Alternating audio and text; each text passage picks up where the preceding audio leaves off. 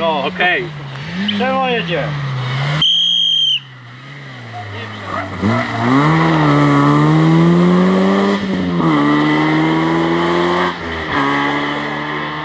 się przez to wychował, ale pokazał kamerę.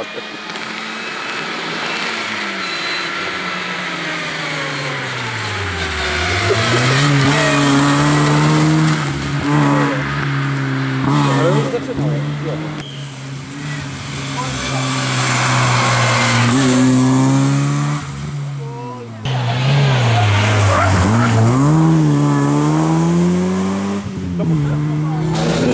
spotkanie z zawodnikami na trasach. Gosztyła, Gosztyła.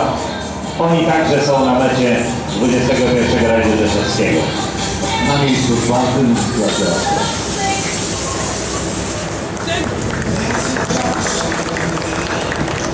I dla nich także nie zabrakło szampana.